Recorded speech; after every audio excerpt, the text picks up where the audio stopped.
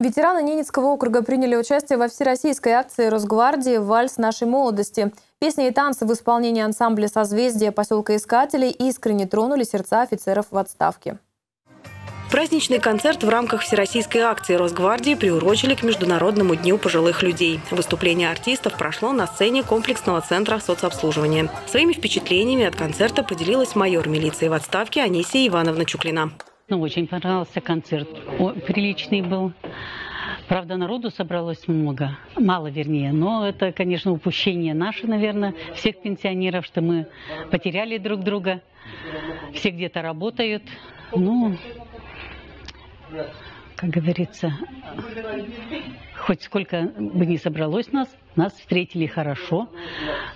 Был концерт прекрасный, чаепитие устроено прекрасное. Вот сидим, общаемся, пенсионеры. Так что спасибо организаторам. За пирогами с морожкой ветераны вспомнили годы своей службы в милиции и пообщались со своими преемниками, молодыми сотрудниками полиции и военнослужащими войск Национальной гвардии. Эту акцию Дню пожилого человека мы проводим уже третий год.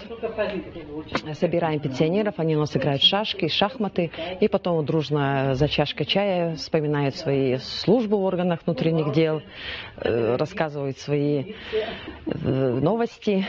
Кто-то бабушка, кто-то дедушка.